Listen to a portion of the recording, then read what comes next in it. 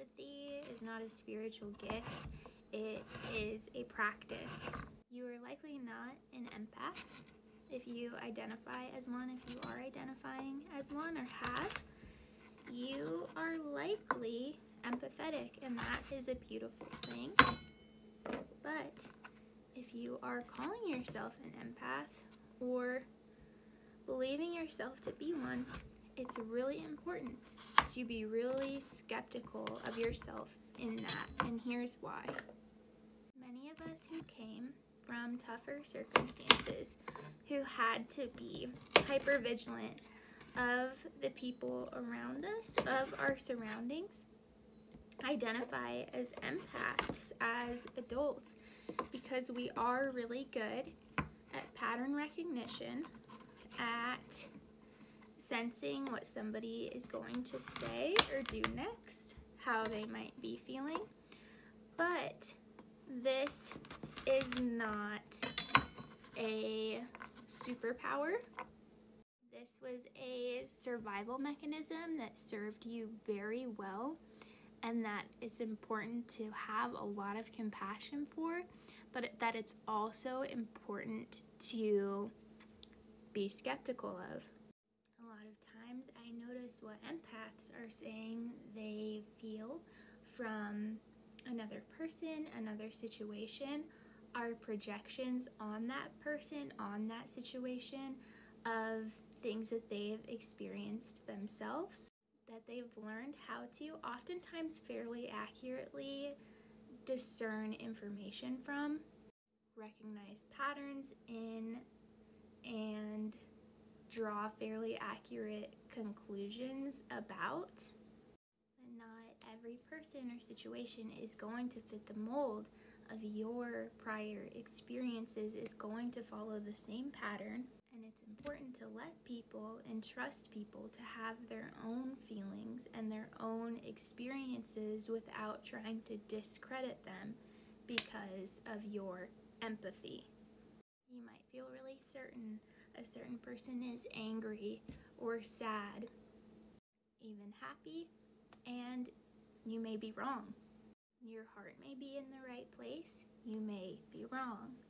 And even if you're not wrong, if somebody is telling you, hey, I don't feel that way, hey, that's not my experience, even if that's not honest, that is your cue to take a step back and respect that person's energetic boundaries. Maybe they are angry, maybe they are sad, maybe they are happy, maybe they don't want to share that with you. It's important to understand we can't know, but to respect a person's energetic consent either way and to trust them as authorities over their own feelings and experiences over ourselves. In itself is practicing empathy.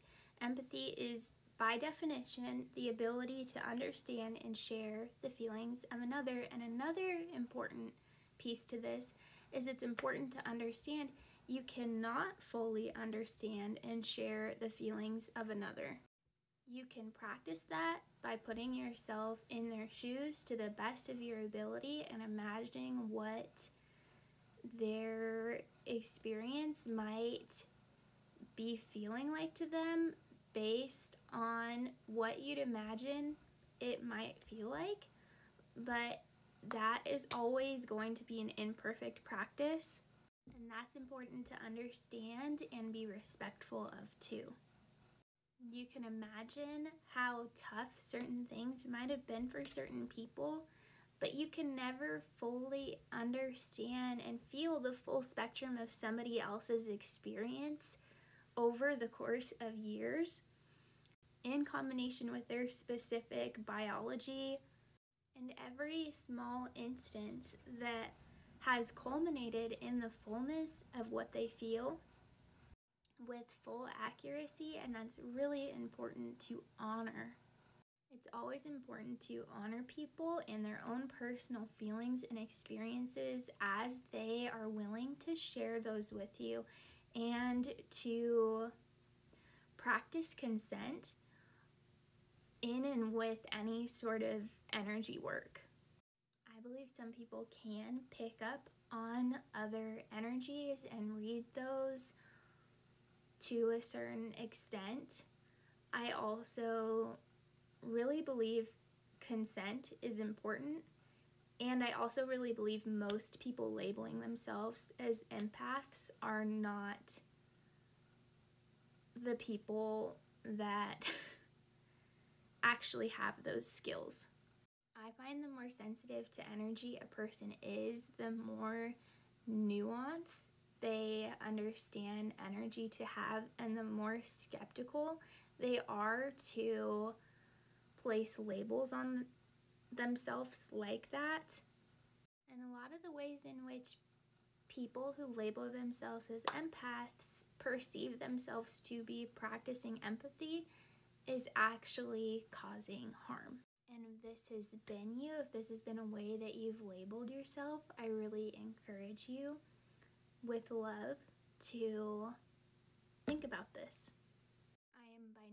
Saying you are a bad person or that you should feel that way about yourself. But when you know better, it's important to do better. Love ya. Blessed be.